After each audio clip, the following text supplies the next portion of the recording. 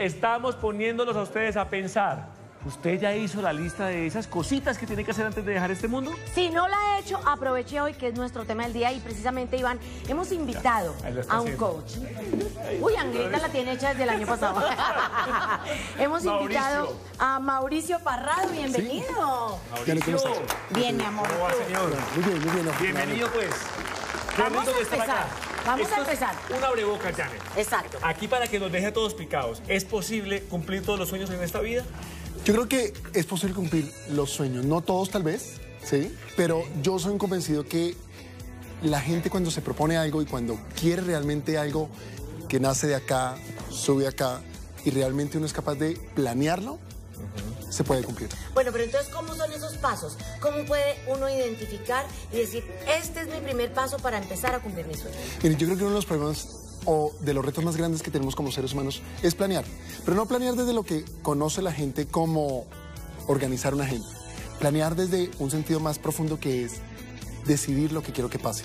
La gente no decide lo que quiere que pase. Y cuando digo no decide lo que quiere que pase es, esto lo han hecho todos alguna vez. Yo creo que tú y tú alguna vez dieron, ¿sabe qué? Yo voy a hacer eso. ¿Cómo? No tengo ni idea. La gente normalmente está más preocupada pensando en El día a día. ¿cómo lo voy a hacer? Y están en el día a día, entonces piensan, no, bueno, cuando tenga esto, ahí sí voy a hacer las vacaciones. Cuando logre el trabajo, entonces ahí sí me voy a dedicar a la familia. Y nunca planean. Y planear es decidir lo que quiero que pase. Y Mauricio, hay tres palabras que yo repito como mantras o tres pequeñas frases que yo repito como mantras todo el día y todos los días de mi vida. Es lo primero que digo cuando me levanto y lo último que digo cuando me acuesto. Si puedo, es fácil, lo voy a lograr. Cuando uno está Wow. consciente de eso, uno lo logra. Y ha funcionado porque mírenla ahí. Totalmente, o sea, un ejemplo para Ya seguir completamente. Pero es verdad. Mauricio, ¿qué hace uno para que esa lista sea coherente? Enséñenos usted como entrenador de vida. Pues yo creo que hay mucha gente que está ahí, ah, pero eso es para la gente que tiene plata, no, eso es para la gente que, que tiene tiempo, que, que, está, que no tiene que estar- en un trabajo, que lo ven como un imposible. Cambiémonos ese chip. ¿Cómo podemos empezar a que esa lista sea una realidad y que sea coherente? Bueno, lo primero yo creo, hay que hacer la lista. Como Iván lo dice, hay que hacer la lista, sentarse y pensar Sí. qué quiere. Recuerda lo que yo le estoy, le estoy diciendo. Lápiz y papel. Lápiz y papel. Como, como se dice, lápiz y papel y a escribir. O celular, en las notas. En el peor de los casos, el celular. Pero lo primero, planee y piense por un momento, decida qué quiere que le pase a usted en su vida, en sus diferentes áreas de vida. Decida. No lo que la gente quiere que le pase a usted, decida lo que usted quiere. Lo que usted algún día soñó, lo que usted de pronto lo apasiona. Y partiendo de ahí, empiece por ponerlo con fecha. ¿Cuándo quiere que pase eso?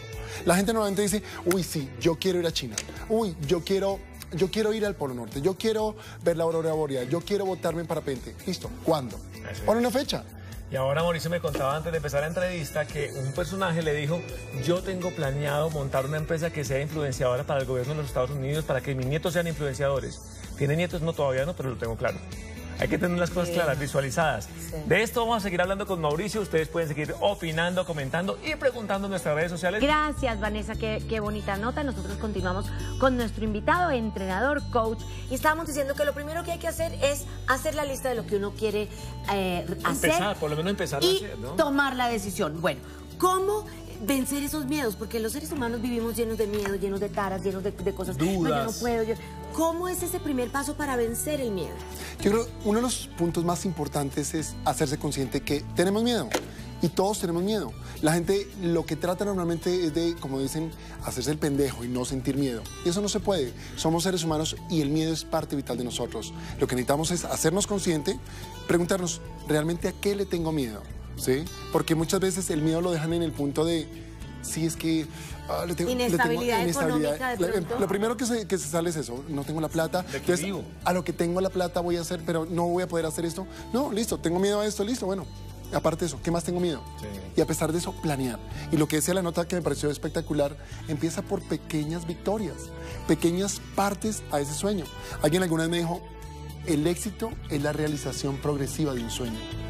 El sueño no llega de la noche a la mañana, es progresivo, empieza por pequeñas cosas. Y funciona mucho, mucho, Mauricio, porque mire, cuando uno hace la lista del año nuevo, y uno revisa a final Sí. de año y ve que chulió Sí. el 80% de esa lista. Sí. Es muy satisfactorio. Sí. Me hablabas ahorita de los planes.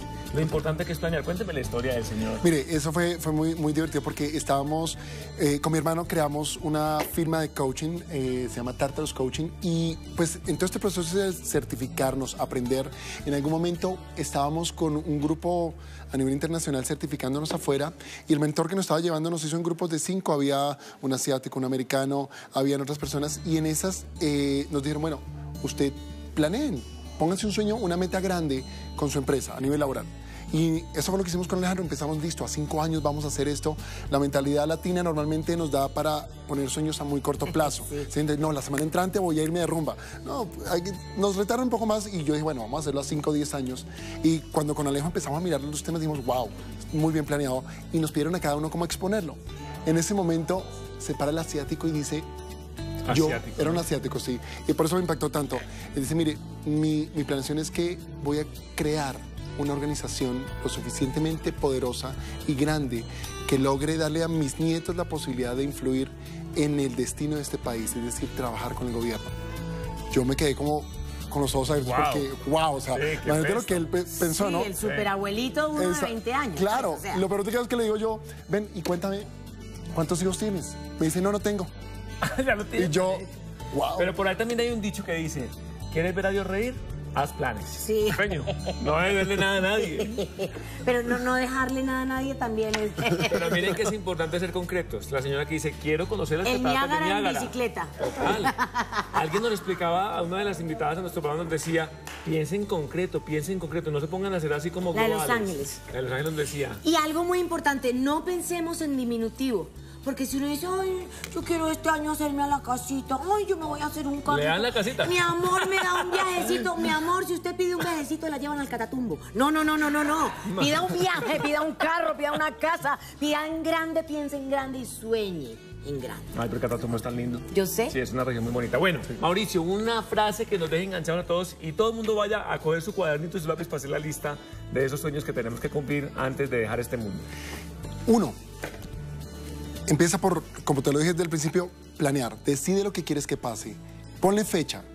Rétate. No te pongas sueños que tu cerebro diga, eso no es cierto. Pero ponte algo que tú digas, me genera aquí ese escosor, pero me, me gusta y quiero hacerlo. Algo que, que realmente te mueva por dentro. Algo que tú digas, wow, y que te lo creas. Ojo, es importantísimo que te lo creas. Que te lo creas porque si tú dices, no, eh, quiero el jet, pero si realmente tu cerebro dice, uh, sí, tú y cuántos más, ¿m? perdiste el tiempo. Ponte una meta que tú te la creas, que te rete, no el de mañana voy a salir a desayunar porque eso lo haces todos los días. ¿sí? O quiero ir este fin de semana a Melgar, pues sí, es un maravilloso sueño, pero, pero hay que pensar en grande. Tal cual. Y sobre todo, haz lo que mucha gente hace. Crea un sueñógrafo. Un sueño. Ay, ¿cómo hace, cómo hace eso? ¿Cómo es un Haz- sueñógrafo? ah, compra un corcho, una cartulina y empieza a recortar imágenes. Mira, lo que decía Vanessa me pareció increíble y es, tú aprendes a programar tu subconsciente, bueno, tu inconsciente realmente, ¿sí? Cuando empiezas a poner imágenes y tienes claro que eso es, y empiezas a hacer, y yo tengo mucha gente, fotos, frases, Funciona, funciona. eh, y es una cosa, si quieres un viaje, empieza por averiguar cuánto vale un tiquete de esos y pon ahí el valor, ¿sí? El universo, Dios, lo que, en lo que tú creas, va a crear todo un entorno perfecto para que tú empieces a lograrlo si realmente lo quieres y si realmente Ese es lo el crees. principio del secreto también, ¿no? Eso me ha funcionado. Sí. Yo muchas de las cosas que he hecho las he logrado así, Sí. visualizándolas, visualizándolas. Sí. Tú también, ¿cierto? Sí, absolutamente. Mauricio, gracias. A ustedes. Qué maravilla. Qué rico cono- Muy qué bueno tenerte acá y que Qué nos buen desayuno. Que nos pueda hacer cosas de desayuno. Aquí, aquí no huele nada porque el señor se fue de la casa.